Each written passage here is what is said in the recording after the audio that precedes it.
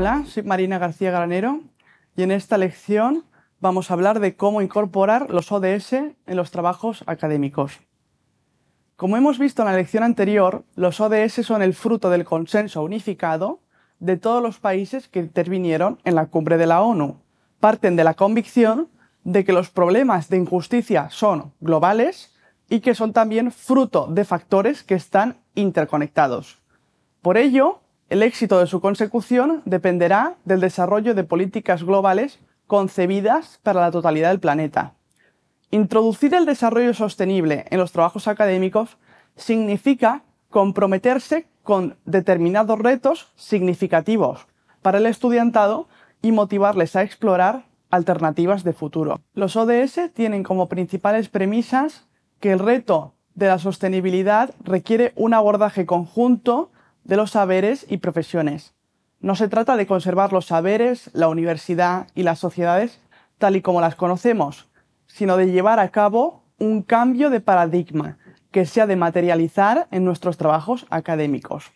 De acuerdo con el documento Educación para los Objetivos de Desarrollo Sostenible, los objetivos de aprendizaje para alcanzar los ODS comprenden tres dominios, cognitivo, socioemocional y conductual, todos ellos orientados a pasar a la acción y posibilitar la transición digital y ecológica. El dominio cognitivo nos aporta conocimientos y herramientas de pensamiento necesarias para comprender mejor los ODS y los desafíos implicados en su consecución. Por ejemplo, en el caso del ODS 1, comprender el concepto de pobreza. El dominio socioemocional incluye las habilidades sociales que facultan al estudiantado para colaborar, negociar y comunicarse, así como las habilidades, valores y actitudes e incentivos de autorreflexión que permiten promover los ODS. Por ejemplo, mostrar empatía, conciencia y reflexionar sobre el propio rol de la persona en el mantenimiento de estructuras de desigualdad, de nuevo empleando el ODS1 de la pobreza. Finalmente, el dominio conductual describe las competencias, conductas y actitudes ética y técnicamente adecuadas. Por ejemplo, ser capaz de exigir, apoyar e implementar políticas contra la pobreza. El documento Educación para los Objetivos de Desarrollo Sostenible, Objetivos de Aprendizaje de Libre Acceso en Internet incluye un desglose detallado de ejemplos para cada dominio y ODS, así como posibles temas de trabajo académico y ejemplos de enfoque y métodos de aprendizaje.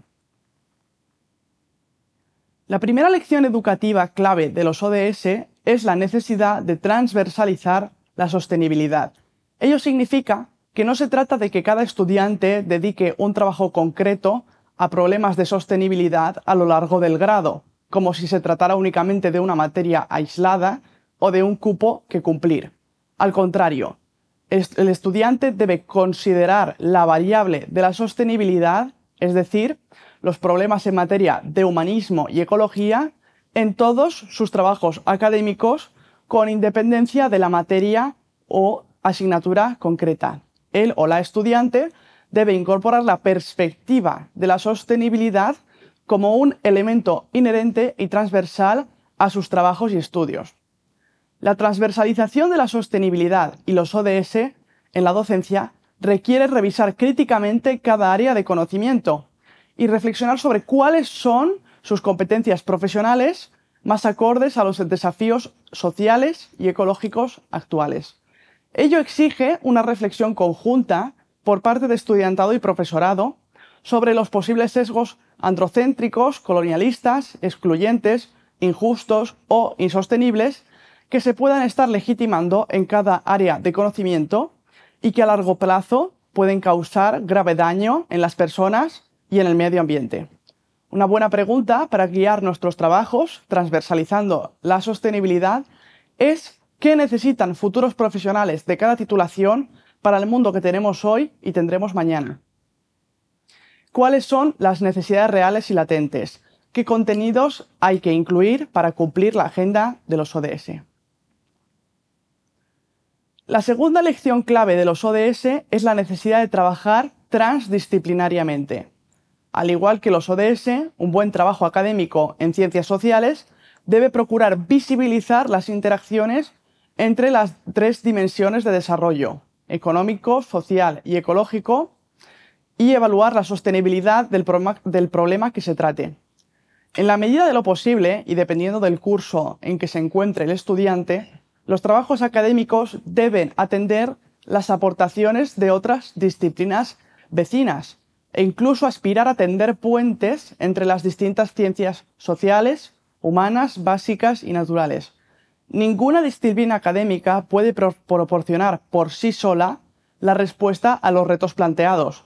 Por tanto, un enfoque transdisciplinar es necesario para encontrar nuevas claves y soluciones adecuadas para los problemas y desafíos de los objetivos de desarrollo sostenible. Si en la universidad se prioriza una visión reduccionista y sesgada acerca de los temas de estudio exclusivos de cada disciplina y el modo en que deben ser abordados, no se alcanzará una solución adecuada a los problemas de sostenibilidad. Cuantas más perspectivas se combinen, mejores serán los resultados en términos de objetividad y su impacto en la calidad de vida y en el desarrollo sostenible. Conclusiones de este módulo. A la hora de elaborar un trabajo académico, el o la estudiante debe tomar conciencia y autoconcebirse como agente activo en la generación de la cultura de la sostenibilidad. La formación sostenible requiere tender puentes entre ciencias sociales, naturales, humanidades, valores, laboratorios, calles, academia, políticas públicas y responsabilidad social. La transversalización de la sostenibilidad y la transdisciplinariedad enriquecen un trabajo académico porque lo convierten en una oportunidad para explorar posibles respuestas a las demandas de la sociedad y es un primer paso en el desarrollo profesional del estudiantado.